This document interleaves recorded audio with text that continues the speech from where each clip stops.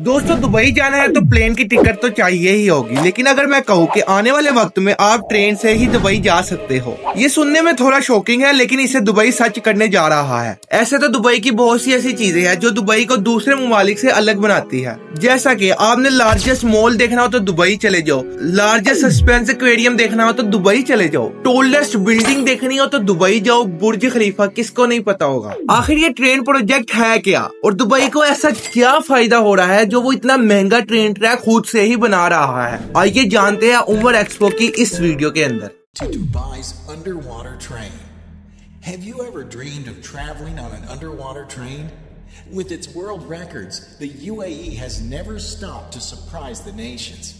The UAE has success in a lot of areas. India ने चाँद पर कदम रखने के बाद अपने ताल्लुकात अरब ममालिक के साथ बढ़ाना शुरू कर दिए हैं क्या आप जानते हैं कि दुबई और इंडिया के दरमियान जेरे ज़मीन समंदर के नीचे एक ऐसी ट्रेन बनाई जा रही है जिससे इंडियन शहरियों को महँगे हवाई जहाजों के टिकट नहीं खरीदना पड़ेंगे और वो इंडिया से मुतहदा अरब इमारात तक अपनी तमाम आमदोरफ इसी ट्रेन के ज़रिए करेंगे इस प्रोजेक्ट का पूरा नाम United Arab Emirates train floating tunnel project project है। ये ट्रेन टनल इंडिया के मुंबई शहर से लेकर 1200 माइल्स का सफ़र करते हुए यूएई के फुजीरा शहर तक जाएगा और पाकिस्तान के कराची शहर से ये टनल आपस में क्रॉस करेगा और दुबई के फुजीरा शहर का ट्रेन स्टेशन कुछ ऐसा नज़र आएगा बनने के बाद।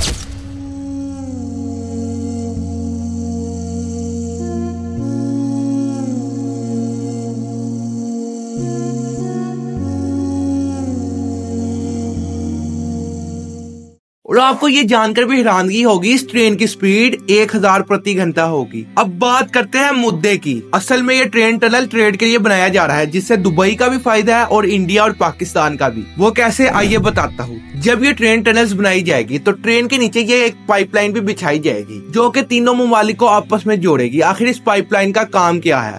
आपको ये तो पता होगा, दुबई आज से कुछ साल पहले सिर्फ़ रेगिस्तान ही था। उसके बाद दुबई ने ऐसी तरक्की की कि आज वो पूरी दुनिया में जाना जाता है। लेकिन इतनी तरक्की करने के बावजूद भी उसे पानी की किल्लत का सामना रहा है हमेशा से। और दुबई के पास में इतना बड़ा सी है, लेकिन वो सी का पानी साल्टी रहा जो के इस्तेमाल नहीं किया जा सकता। तो दुबई उस पाइपलाइन से यूएई फुजीरा बंदरगाह से ऑयल सप्लाई करेगा इंडिया को। और इंडिया अपनी पाइपलाइन से नर्मदा रिवर का पानी सप्लाई करेगा, जो कि फ़िल्टर करके दुबई यूज़ करेगा। जिससे दुबई का पानी का मसला भी हल हो जाएगा और उस ऑयल से, जो कि इंडिया पाकिस्तान में आएगा, ऑयल की कीमत भी गिरेगी और इकोनॉमी भी बूस्ट करेगी। और इन ट्रेन स्टेशन से वो लोग फ़ायदा उठाएँगे जो कि प्लेन का सफ़र नहीं कर सकते। ये दुबई की ट्रेन आपको दो से तीन घंटों के अंदर ही इंडिया से दुबई दुबई से इंडिया पहुँचा देगी, जिससे ट्रेड भी ज़्यादा बढ़ेगी और तजारत भी ज़्यादा से ज़्यादा होगी, जिससे दोनों मुल्कों के लोगों का भी फ़ायदा है और दोनों मुल्कों का भी। अब आप सोच रहे होगे कि ये प्रोजेक्ट कंप्लीट भी हो पाएगा कि नहीं? तो आपके लिए मैं ये भी बता दूँ कि जरा आप सोचे, इंसान का एयर में सफ़र करना 1903 से पहले नामुमकिन था। और अब ये एक आम सी बात लगती है। और आने वाले वक्त में ये प्रोजेक्ट भी हमें आम सा ही लगेगा। और जहाँ तक ये सवाल है की ट्रेन पानी में चलेगी